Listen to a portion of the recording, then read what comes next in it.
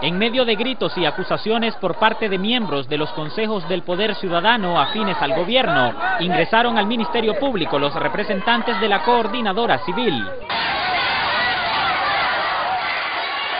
Georgina Muñoz y Mario Quintana llegaron a la Fiscalía igual que otras organizaciones de sociedad civil, según dijeron sin saber los motivos de la citatoria. Bueno, vamos a ver, no sabemos, desconocemos para qué el llamado, vamos a ver.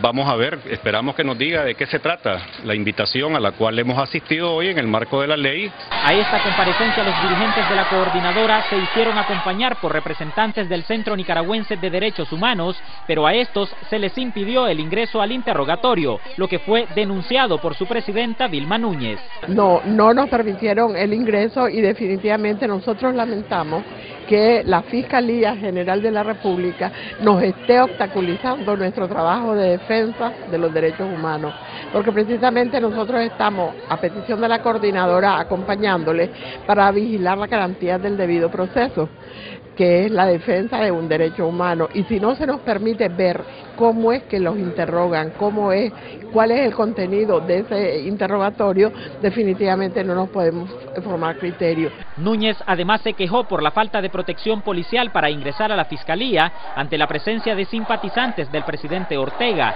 quienes se toman la tarea de hostigar a los representantes de las organizaciones citadas.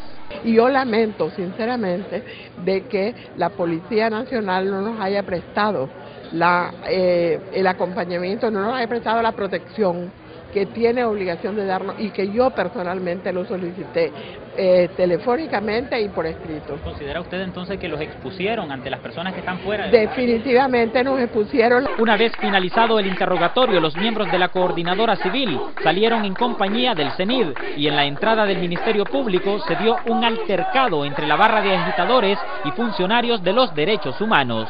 Informó Álvaro Navarro en 11 Noticias.